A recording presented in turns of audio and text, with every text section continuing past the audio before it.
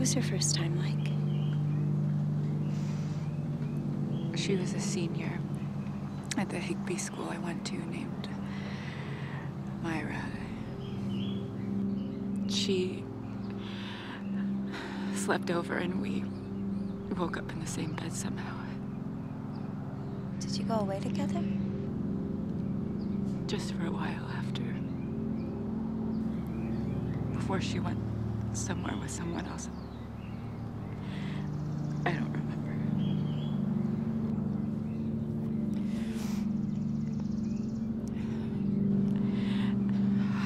How is it that you've never tried? I was taught to keep quiet about things I didn't know about.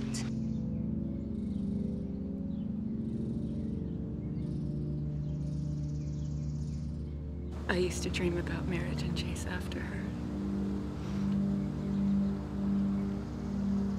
Now it makes me sick. Just don't want these things.